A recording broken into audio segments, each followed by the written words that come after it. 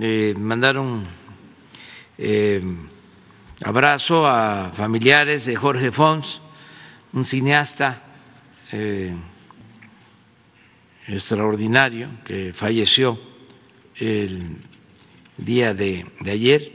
Estuvo con nosotros eh, visitándonos con otros cineastas el 16, 17 de mayo.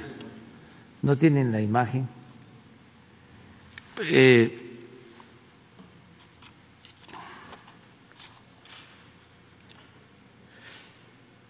es recordado por eh, la obra, la cinta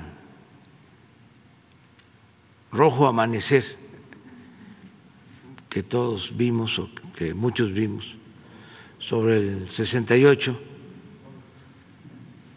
y el Callejón de los Milagros